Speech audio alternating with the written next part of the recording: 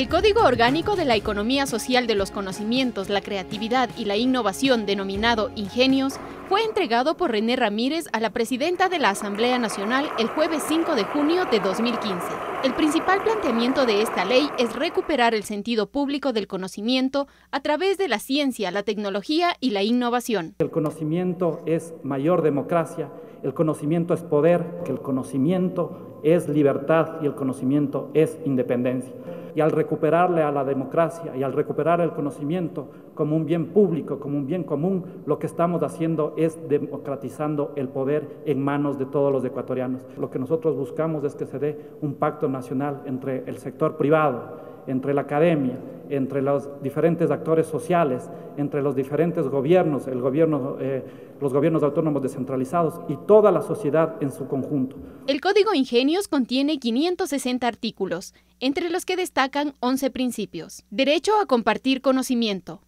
Incentivos económicos para favorecer la innovación. Medicamentos más baratos.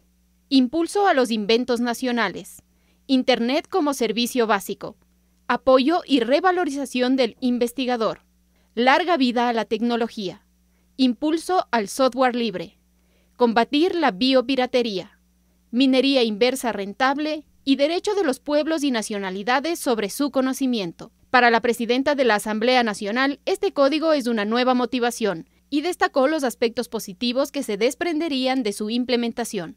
Hoy Ingenios nos abre justamente la posibilidad y la oportunidad de garantizar nuestra propiedad intelectual, de garantizar nuestros saberes ancestrales, de garantizar nuestra creación, nuestra música, nuestra poesía, nuestra pintura, nuestro cine, lo nuestro. Y eso siempre va a ser defendido por este poder del Estado que es el poder legislativo. La comisión va a tener la tarea de recorrer cada provincia para ciudadanizar este código, para que todas y todos podamos participar y para que cada espacio del territorio ecuatoriano sepa que hoy el Estado ecuatoriano en general y este gran proyecto de revolución nos invita nuevamente a que soñemos, nos invita nuevamente a que abramos esas grandes alas. Así, esta Secretaría de Estado aporta a la construcción de las bases normativas para que en el Ecuador se instaure la economía social de los conocimientos para lograr el país del buen vivir.